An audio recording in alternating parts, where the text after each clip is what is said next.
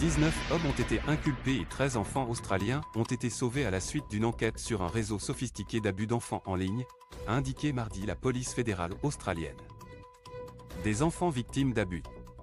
Son enquête a débuté en 2022, lorsque la police fédérale américaine, le FBI, a partagé des informations sur des membres australiens d'un réseau peer-to-peer qui aurait échangé du matériel pédopornographique sur le dark web.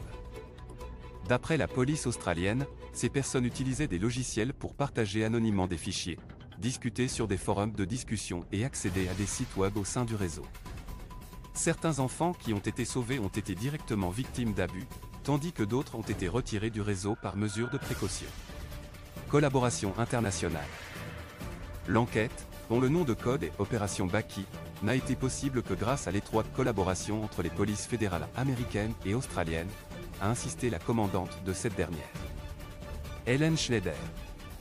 Visionner, distribuer ou produire du matériel pédopornographique est un cri horrible, et les efforts déployés par ces auteurs présumés pour éviter d'être découverts les rendent particulièrement dangereux.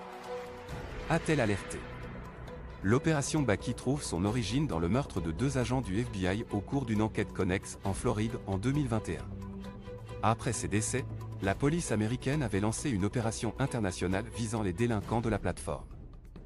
L'enquête du FBI a conduit à l'arrestation de 79 personnes pour leur implication présumée dans le réseau.